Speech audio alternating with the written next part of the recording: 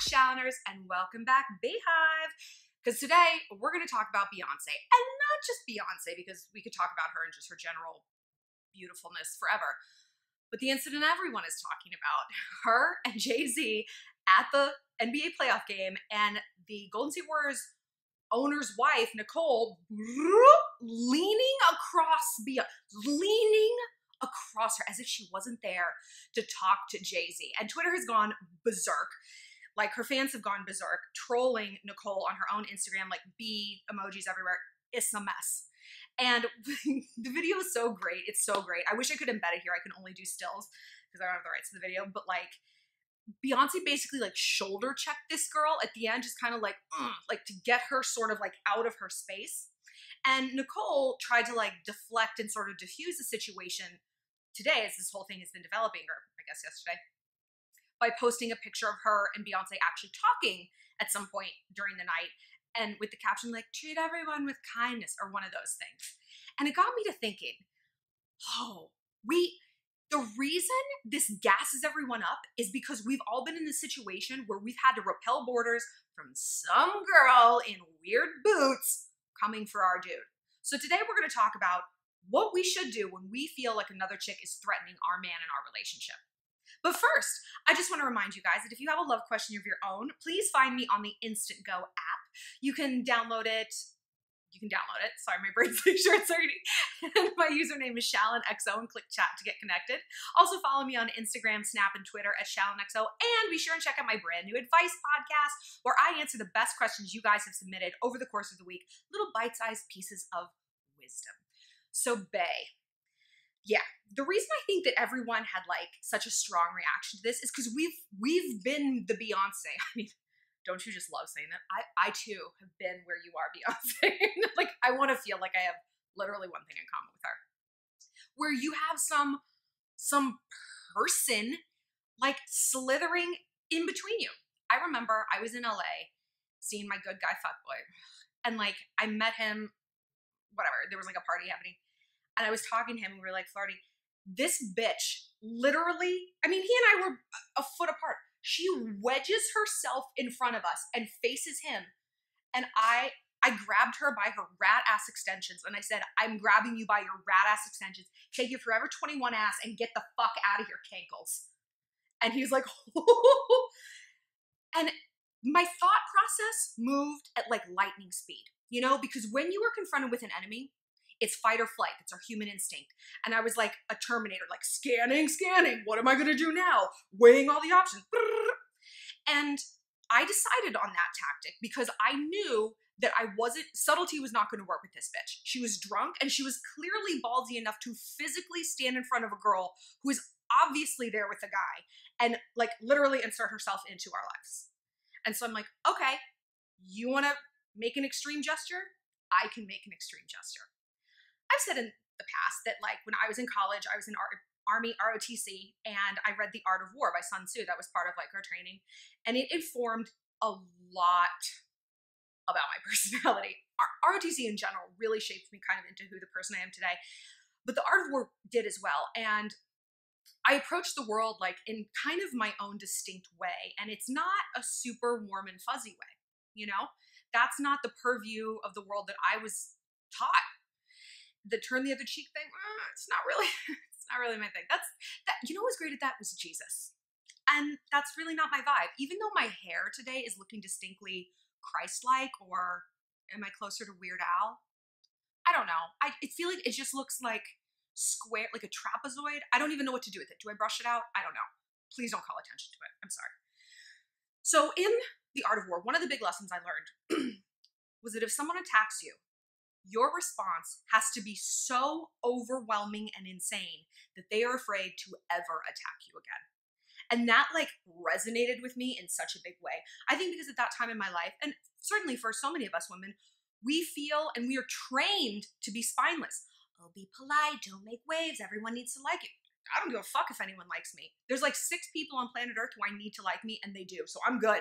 I'm good until I'm like 85 years old.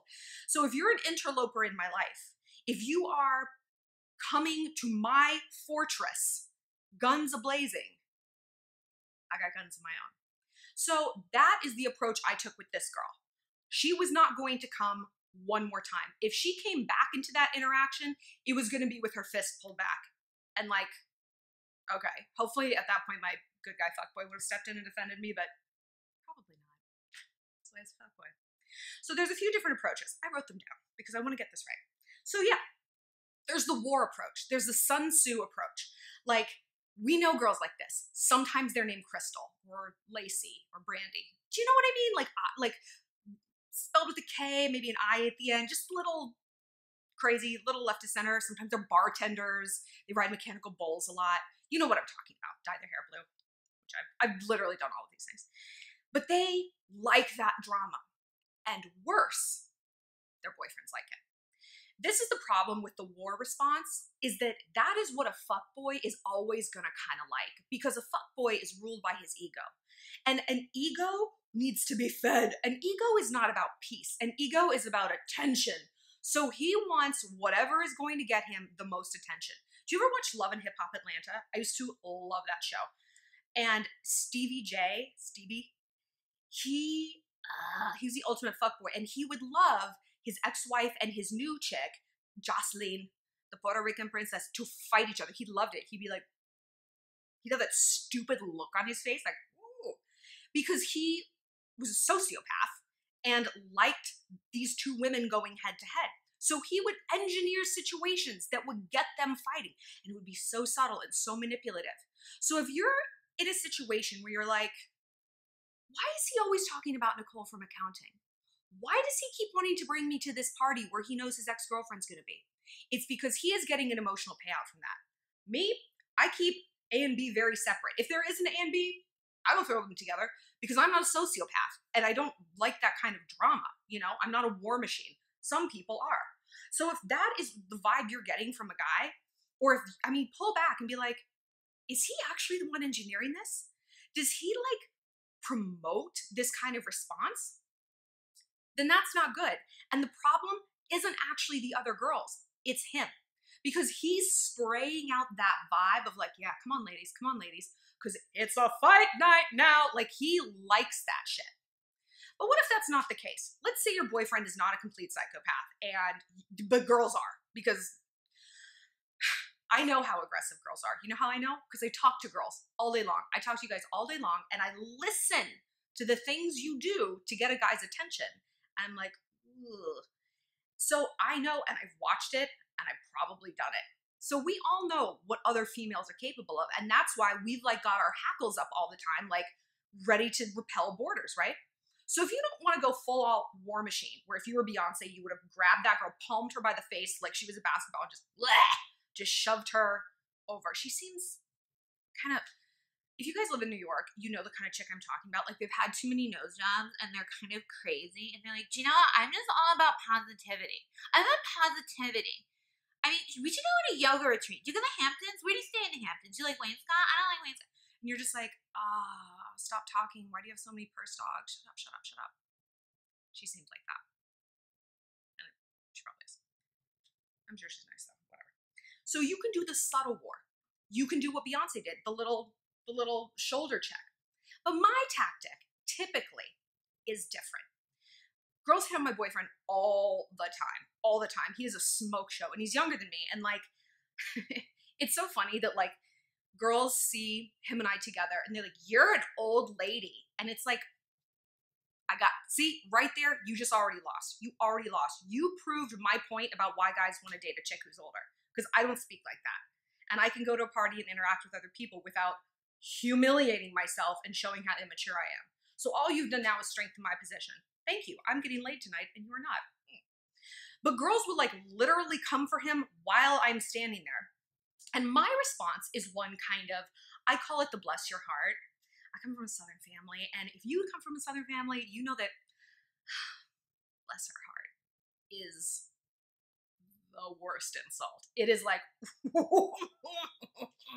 because it's not only dismissive, it's pity.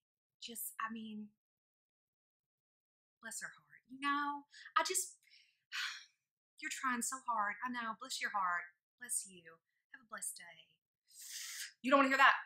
So I will sit there as girls try to like, you know, spit their game in front of my boyfriend with their like crop tops and ill advised ab situation. And I just sit there and I'm like, mm, I have a, I get bless your heart face. I'm like, how are you? What's your name? Crystal. Bless your heart. Because I can afford to come up from a place of magnanimity, of bigness, of emotional generosity. You know why? Because I am the baddest bitch around. There is no girl, no girl who is going to take my man. And if there is, let him go. Great. Then that shows his weakness. I don't fight for men. I fight for the last mozzarella stick. I have my priorities straight. So while I am prone to do this war machine thing, I don't want to live like that. I don't want to be someone's emotional parole officer. I use this term a lot. I don't want to be a fortress around a man. I don't want to be a sword. I want him to be my shield. He is supposed to protect me from the world. And yes, our partners, as we always like to know that, like, I want to know that he actually gives a shit if someone flirts with me. Like, I want to know that he cares. But I don't want someone peeing a circle around me and like, like keeping everyone away from me. I don't find that fun. Like, I need space and not the evil eye. And that's what I'm willing to give my partner as well. But we know the situation. It's different than like, oh, two people are talking to, she is coming for him. She is leaning across Beyonce's lap to talk to him. Uh uh uh. So I just, I just sit back and I let her embarrassingness just completely unfurl. Just completely unfurl. I stand there and sometimes I just cross my arms and I just watch Michael Jackson popcorn gif. you know, I'm like, show me what you got, Crystal. Show me what you got, Kelsey. What is it? What are you gonna do next? What are you gonna do? Oh, what are you doing? No, you don't know. Oh, you asked him to take a selfie? Bless your heart. And when my boyfriend looks at me, because it's like a little kid, like looking at their mom, like, am I in trouble? I'm like, the longer you talk to this girl, the more you're embarrassing yourself. So I just like, I just shrug and I usually turn and I walk away. Because as a philosopher of our generation, Blake Shelton once said, Who are you when I'm not looking? Who is my boyfriend when I'm not there? If I'm not there to police him, to repel boarders and stand guard, what happens? I'd kind of like to know the answer. Because, like I said, if he's gonna like go home with some tramp, fucking bye. Welcome, come on home with the crotches cut out of all your pants. I don't care. You know, I can find another you. He's gonna have a much harder time replacing me and it's going to be an ugly breakup because I have a YouTube channel with 100,000 people and he doesn't, and I will light him the fuck up. I'm not going to do this because I love him. You, but, but they need to know what I'm capable of. And that's a different kind of war machine, isn't it? That's a different kind of Sun Tzu response. I don't need to like roll up my sleeves and clock a girl at a Black Bear concert. I can just stand and be like, you know the consequences. You know that if you cross a certain line, I am going to walk away and I am never going to come back because I don't need to come back. For what? nothing. And that is the kind of attitude you have to cultivate throughout your entire relationship, you know? And it's never too late to start doing this. And if you are in a situation, uh, the Beyonce sort of situation, where it's like maybe after the fact, after the chick has run along to go to her like second bartending job of the night or whatever. I love bartend. I'm not trying to shit on bartenders, but bartender chicks can be kind of crazy. They know how to fight. You can learn stuff they know they like they know all the good stuff. They know how to fight. They know how to talk to people and flirt, and they know how to make drinks and stay up late. That's all I. I need these skills. So after the situation has you know fizzled out, be like, so that girl you were talking to today, be like, oh, are you jealous? Be like, I don't get jealous. I get going. Like, I'm your girl. You're my man and I shouldn't have to police you and remind you of any of that. So I'm not going to. You're an adult. You know what you should be doing, and you know what you shouldn't be doing. And if ever you don't know, think, hmm, would I be upset if she was doing this to me? If my girlfriend was acting like this with another dude and I was sitting there watching it? And if that doesn't sit with you, if that's a little prickly, if that's a cold prickly and not a warm fuzzy, maybe you should modify your behavior. But again, I don't need to tell you this, honey. You already know it because you're a grown man And grown men understand that behaviors have consequences. And when you choose a behavior, you choose the consequence. And some things cannot be unchosen. You want to order mozzarella sticks? And then you change the subject. There's something to be said for quietness.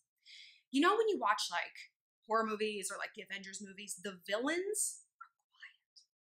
This is a psychological principle that the, the lower you talk and the slower you talk, the more menacing you appear.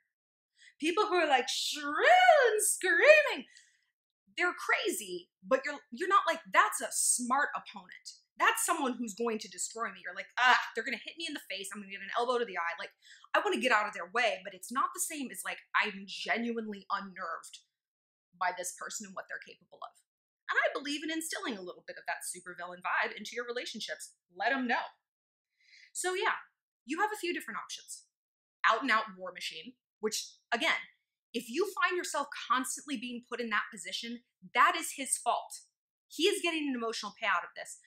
And honestly, you probably are too. I've gotten in two physical fights in my whole life, like off the hockey court. I played hockey for really long times and we just get like ragers out there, but you're wearing equipment, you can't even feel it. I got into two physical fights and I was like deeply ashamed after. You just you it doesn't feel like you think it's gonna feel. It you're just like, oh, I'm a trash person. I'm a trash person, a steaming garbage fire.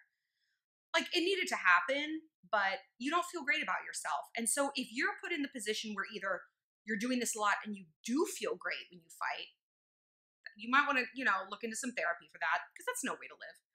Or worse, you feel shitty. And every time you're like, wow, really? Another night out at the bar that like we couldn't enjoy because Chad was flirting with this fucking chick and like I had to come in from the left horizontal flying through the air to take her out. Like, great fun times. At some point, we have to acknowledge are we the architects of our own misfortune?